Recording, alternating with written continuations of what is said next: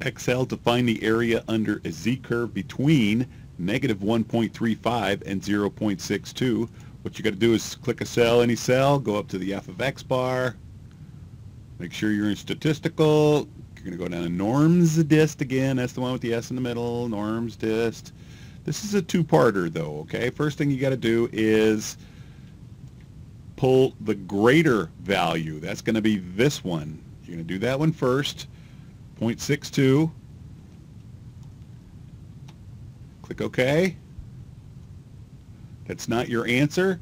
You're going to cut and paste the formula, Norm's dist formula, click behind it, put a subtraction in there, hit Control V to paste it back in, but then change this second value to whatever the first number is here. So that's a negative 1.35. So what it's doing is it's taking the, the larger area and it's going to subtract out this smaller area.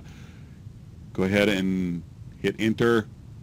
That's your answer, 0.6439. That's the area between those two z-scores. MGZ, out.